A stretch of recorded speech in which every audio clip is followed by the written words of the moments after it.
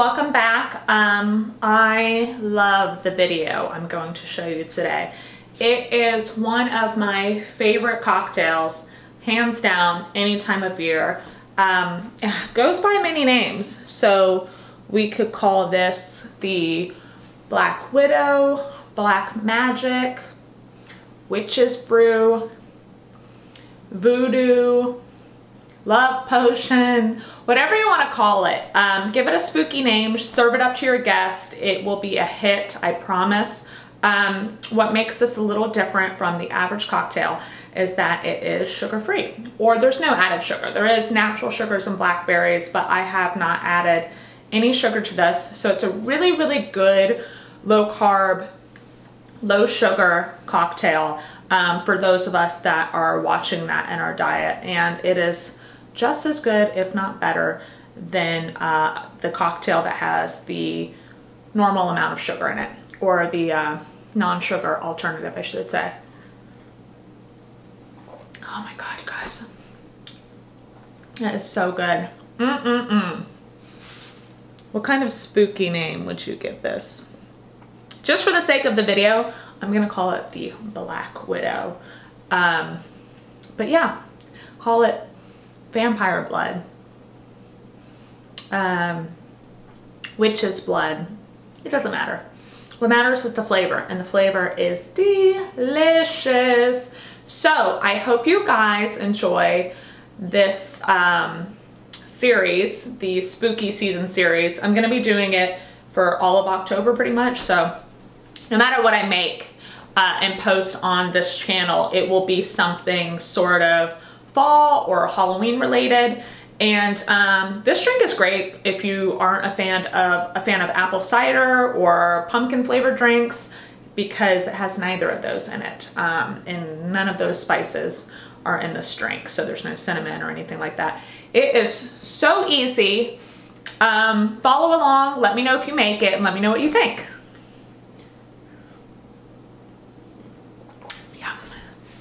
Okay you guys, so for today's recipe you are going to need a blender or food processor, a glass of your choice, a lemon or you can sub a lime, um, blackberries, you're going to need a half a cup for this recipe, tequila, sugar of your choice, I'm going to be using Splenda today.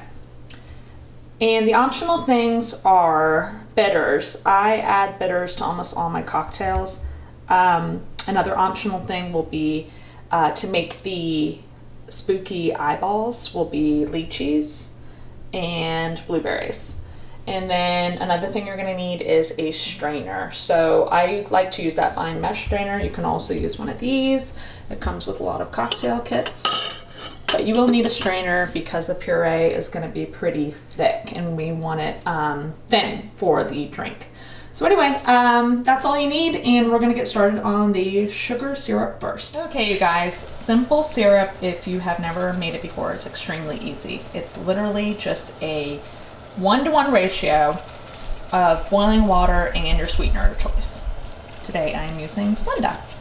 Um, so get the water boiling and then for simple syrup made with artificial sweetener, I actually prefer to turn off the, um, the heat before adding the sugar. So we're just gonna do that. And then now I'm going to add the sugar and then just stir and let dissolve and you'll have simple syrup.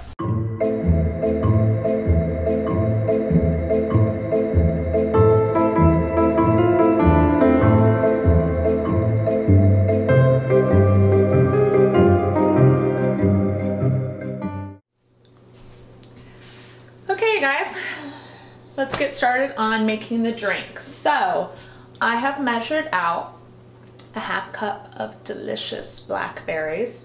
Um, and we're gonna blend these up and we are going to blend these with our simple syrup.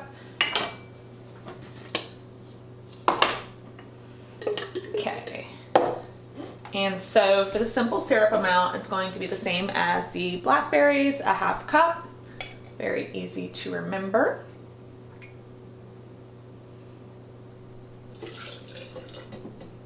Perfect. Now you might want to keep um, an extra blackberry or two. Don't blend all of them because we'll use one as a pretty little garnish when we're done with this. Okay.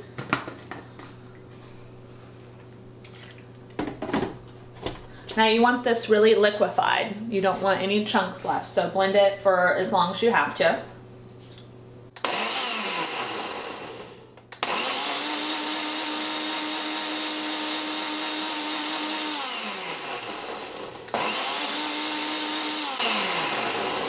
Blueberries are pretty, uh, sorry, blackberries are pretty soft, so they blend up pretty easily. So there's our puree. Super easy. Now what we're going to do is um, fill up a shaker filled with ice. Whoopsie daisy. we are going to pour the puree into the shaker.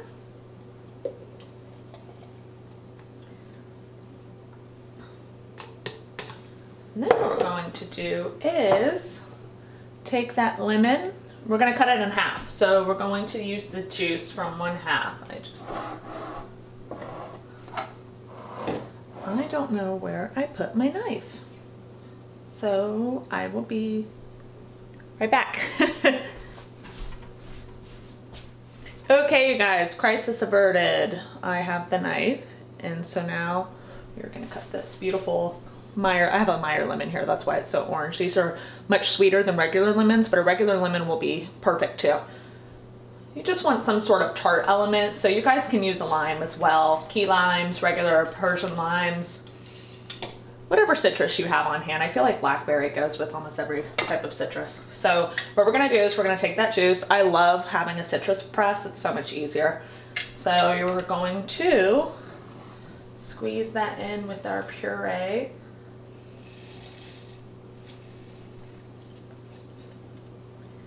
And the next step will be adding our tequila. You guys, don't be afraid of using a different um, alcohol. I just really like tequila. Um, but you can use vodka, gin, use whatever you have on hand. Even bourbon would be really tasty. Okay, so we are doing two ounces of the tequila. This little shot glass is roughly one and a half ounces, so we're gonna do one and a half of these.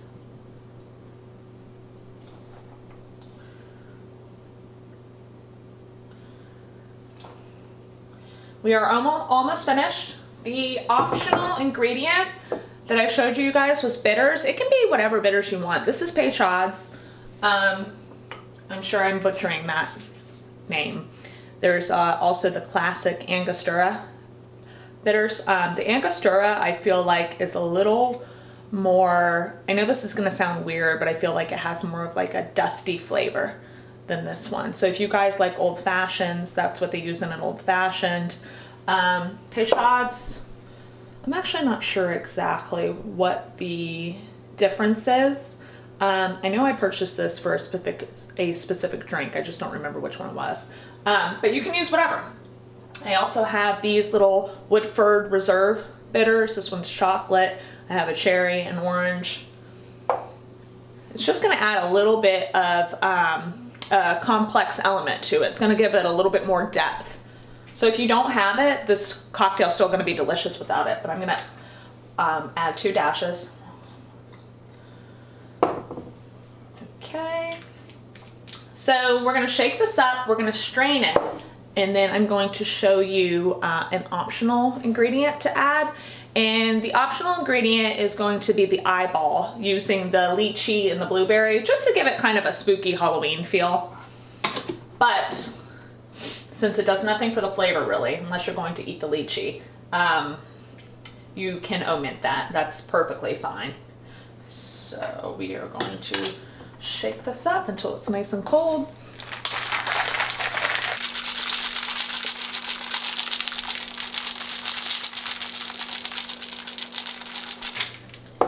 Okay.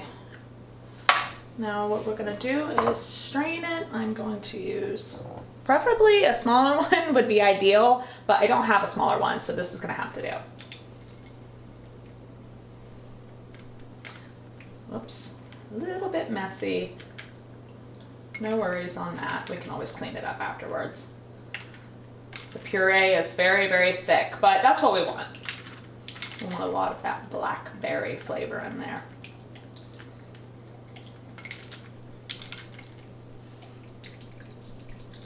It is looking so tasty and bloody.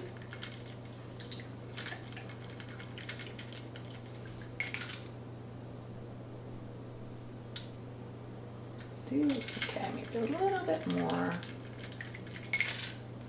Okay, just sort of tap the strainer just to move on and move it along here.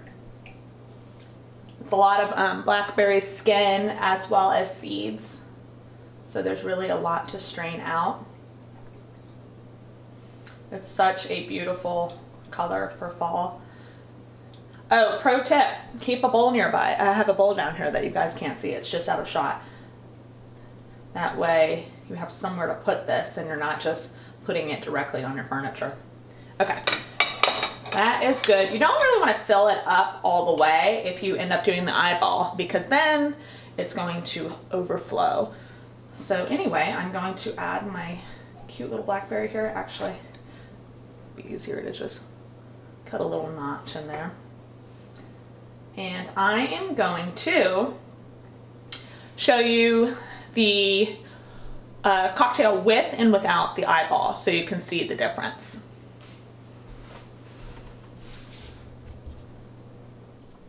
Okay guys, here is the drink with the spooky eyeball in it. Um, so that is a lychee.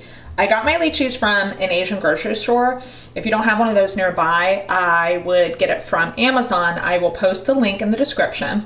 They're actually really delicious. If you've never had a lychee before, the flavor is really hard to describe, but it's very subtly sweet and kind of almost floral. I think they're fantastic, even canned. Um, the texture is oddly enough what I would imagine an eyeball texture to be. It's kind of gelatinous, maybe not gelatinous so much as just kind of like um, slightly mushy with a little bit of chew. Someone actually described it recently and I think it's perfect um, in a video I watched. It was um, uh, Whiskey Tribe, I think it's called. They said it reminded them of a scallop. Oh my gosh, did it just sink? Okay, anyway, you guys, so the reason it's in a rocks glass is because when I tried to put the eyeball in the coupe, it just sunk to the bottom, and as you can see, it just did that here just now.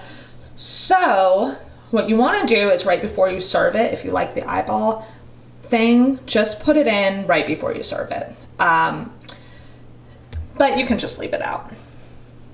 Look at how beautiful this drink is.